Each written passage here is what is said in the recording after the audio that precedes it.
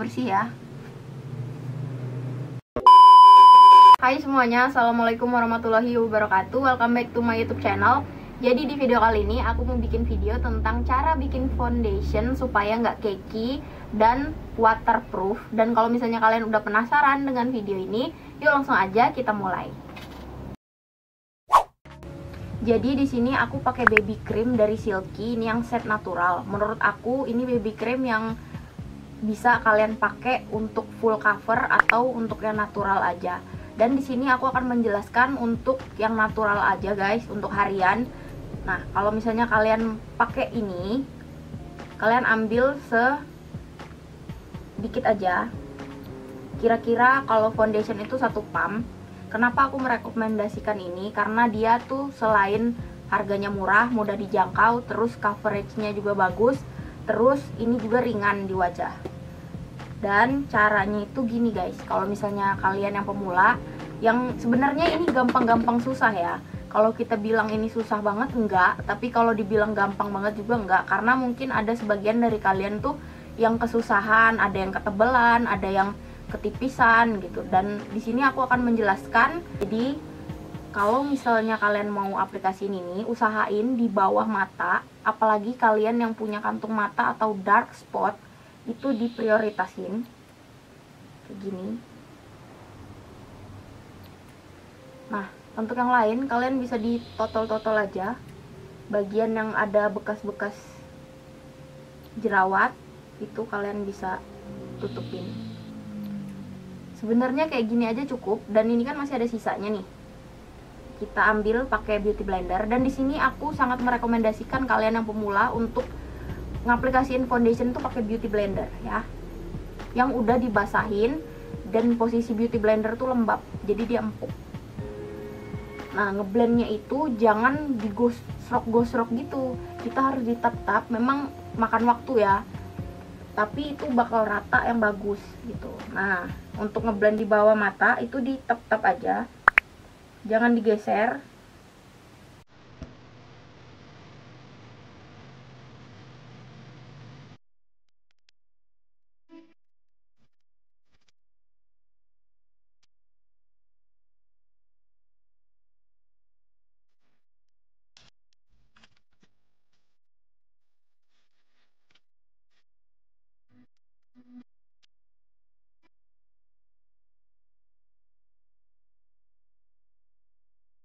dan pastikan kalau misalnya kalian mengaplikasikan foundation itu di sela-sela ini jangan sampai dia ngegumpel atau kayak numpuk di situ.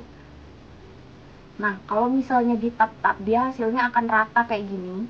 Tapi kalau digeser dia tuh kan kalau kita geser gini ada bagian yang warnanya tuh nggak sama gitu guys. Sama si bagian lainnya gitu. Makanya aku sangat merekomendasikan cara untuk di tap-tap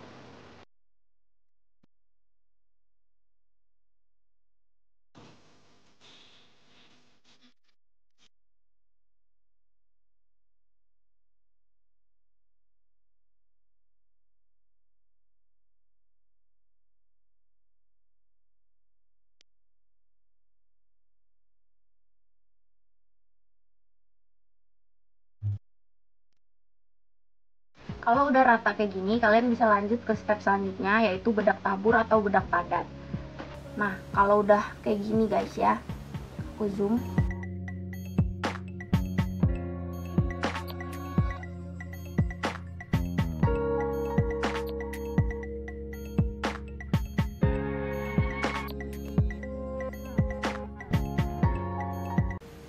Dan di sini aku akan pakai bedak tabur dari Emina nggak perlu banyak-banyak kalau untuk harian. Yang penting si alas bedaknya ini kekunci.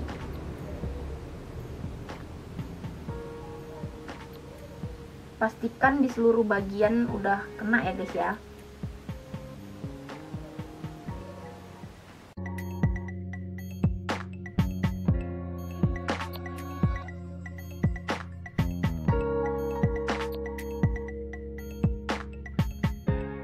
setelah pakai bedak tabur aku saranin kalian harus pakai bedak padat. Walaupun cuma sedikit tapi nggak apa-apa. Yang penting pakai.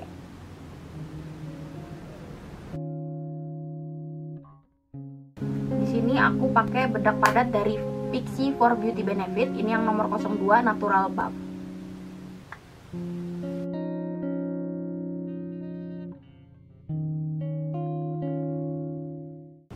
dan di sini aku pakai setting spray. Merek apa pun itu terserah yang penting pakai. Dan kalian tunggu kering. Sembari dikipasin. Kalau udah kayak gini kalian tinggal pakein blush on dan contour dan kalian selesaiin makeupnya. Dan di sini juga aku mau kasih tahu kalian sebenarnya tahapan ini tuh tahapan yang banyak banget orang remehin. Banyak banget orang yang begitu pakai baby cream atau foundation mereka langsung udah selesai gitu. Atau pakai langsung cream blush tapi sebenarnya aku pribadi aku sering make upin klien ya. Ini merupakan kunci menurut aku. Kunci utama dari sebuah make up yang awet. Foundation bedak tabur dan bedak padat yang seimbang itu bakal bikin si make up ini awet seharian. Karena kalau misalnya kita banyak foundationnya terus bedak taburnya sedikit bedak padatnya sedikit itu dia pasti bakal banyak terus kalau misalnya salah satu dari ketiga complexion ini nggak nggak seimbang itu bakal bikin si makeup kalian ini luntur dan banyak dan lain sebagainya. Dan banyak di sini yang mungkin masih ada pemikiran bahwa kalau misalnya makeup yang awet itu dengan pakai base yang mahal atau base yang ini yang itu. Sebenarnya menurut aku kalau menurut pendapat aku pribadi base itu nggak terlalu ngaruh sih. Justru yang ngaruh itu yang aku bilangin ini tadi antara foundation bedak tabur dan bedak padat itu harus seimbang. Itu bakal bikin makeup kalian awet. Nggak ngaruh base nya itu apa nggak ngaruh semahal atau semurah apa. Yang penting antara ketiga foundation, bedak tabur dan bedak padat itu seimbang itu bakal bikin makeup kalian insya Allah awet seharian. Dan di sini aku akan coba untuk menyiram wajahku ini dengan air. Ini embernya kosong ya.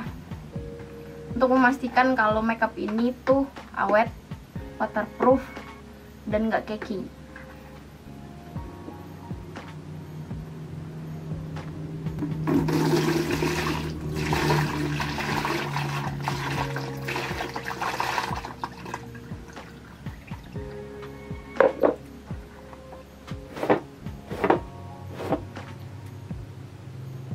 Bersih ya.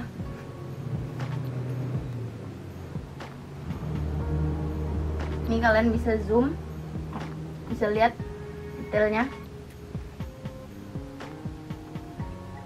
Ini produk nggak ada yang nempel.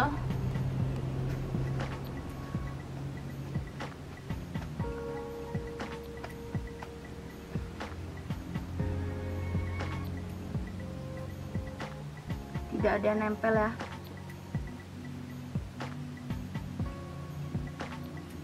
dan itu aja tips dan cara pakai foundation supaya nggak keki dari aku. Dan ini aku udah selesai makeupku itu aja video dari aku. Semoga kalian suka sama video ini. Dan kalau kalian suka sama video ini jangan lupa di like di komen dan di subscribe sampai ketemu lagi di video aku selanjutnya. Wassalamualaikum warahmatullahi wabarakatuh